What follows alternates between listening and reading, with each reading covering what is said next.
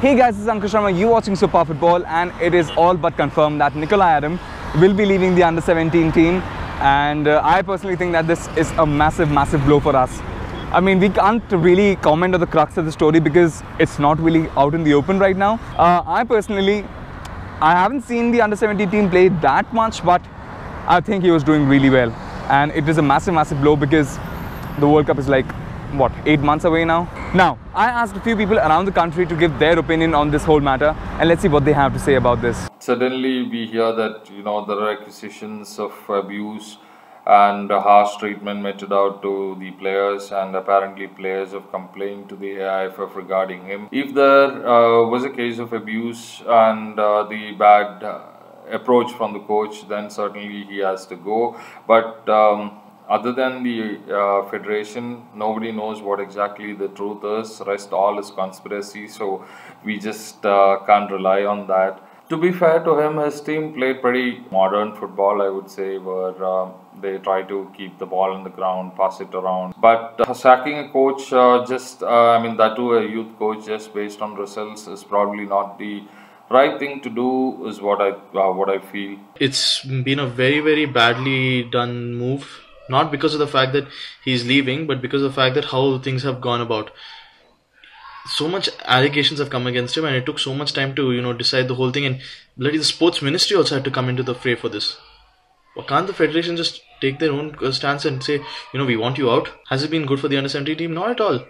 Because now they have to work with a new coach, and he's barely got what seven months to work about go about it for working, setting up a system and making it happen.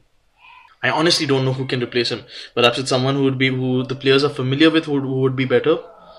I've heard of this. I've heard of a name, Richard Hood. He's worked with the AIFF before at at the youth levels. Perhaps he might do a good job. I don't know who's going to come in next six months to coach the under 17 boys, and uh, it is not some regional tournament, and it's World Cup, and there is some real uh, competition in that. It's whether AIFF which have threatened the under 17 boys to uh, make Nicol Adam get sacked, or whether whatever the boys is telling about Nicol Adam is true. But I don't know how a new coach is going to come in less than six months and get in his philosophy into team and uh, make it work in the World Cup. This comes as a shocking move, but probably the right move at a very wrong time. This should have been done probably a maybe a year ago or something because irrespective of how the team is playing the results have not been great we have come last in the BRICS Cup we have come last in our uh, AFC Cup group uh, we have come last in the uh, uh, Kranken Memorial Tournament and and the results have not come in, out in favor. Although we might have lost to uh, lost with small margins to let's say teams like Brazil, but uh, in the end, what matters is the result. He should have stayed with the current uh, national under 17 team because he has been uh, well minded uh, he he was given a free hand uh, uh, there were there have been several uh, exposure trips for the in as a part of the preparation and so on. Apparently he wasn't very kind to the um, he was very harsh to to the to the to his wards. Now being the country and he he uh, i mean he probably would try to implement stuff uh, in his way which did not suit the indian sensibilities. It's quite baffling at this point of time uh, to get a new coach and build the team and so on.